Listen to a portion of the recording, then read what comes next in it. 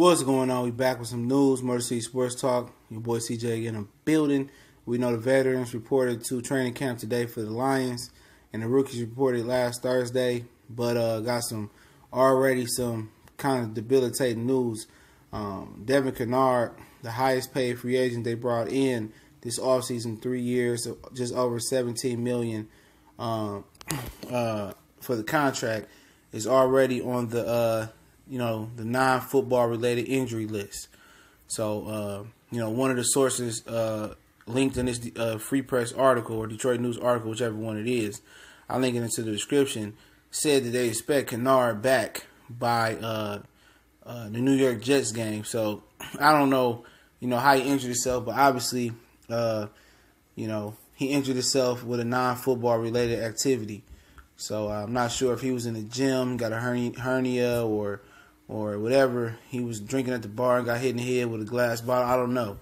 So uh, you know, this is you know the prize free agent is already injured and is expected. It sounds like he's expected to miss a lot of the camp and be back for week one. So it's never good. He had a few responsibilities with the with the Lions, being a coverage linebacker and being one of the uh, the remedies to the bad pass rush last year. He was going to rush the passer and kind of be a coverage linebacker as well. So, um, you know, when one falls down, you know, one guy steps up. So Reeves-Maybin is going to have to make a name for himself in camp, or whoever else steps in. They also got Jarrad Davis, who was talking today, sounding confident. But ever since Odell cracked back to him in week two, you know, his play was just going downhill. So hopefully his health is good. And Christian Jones coming from the Chicago Bears, who play inside and outside linebacker in the 3 4 and the 4 3 with the Chicago Bears, is more of a run stopper, a 4 3 linebacker. And I think he's going to uh, make some noise as well. He went undrafted because uh, him and Timmy Jernigan, another Florida State player, you know, got popped for drugs, and they all still went high. But you know, his stock fell to undrafted, so uh, I did some research on him. But Devon Kennard was going to be a very, very integral part of the Lions' um, season in an off-season training camp, and uh, we was trying to, you know, talk about. We didn't want to get into injuries. Um, in camp, training camp, we wanted to go go into camp and leave camp as injury free as the Lions could, and um, that looks like they starting off uh, camp on a bad foot on the uh, injuries. You know, injury bug is already bitten before the season has started. You know, and that, and that's a shame. That's a that's a super shame because um, uh, that was I mean I mean before a ball you know a ball's been snapped or anything, this dude is already injured, and we paid him all this money, the highest free agent we paid, and he already gonna miss camp, and then he gonna get off on a bad foot.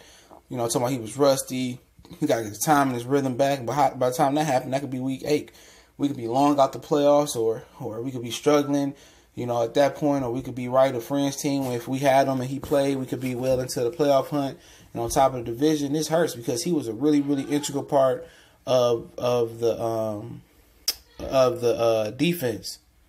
He was he was he was going going play multiple uh, uh, roles in his uh, defense as far as rushing the passer, you know, coverage and linebacker, um, you know, run support. I mean, they had he was going to be moved in different places and used in different roles. And now they got to find somebody else, you know, for the immediate future. And then when you do get him back, you got to hopefully that you got to hope that the injury healed the right way. Then you got to hope that he got to get in the rhythm.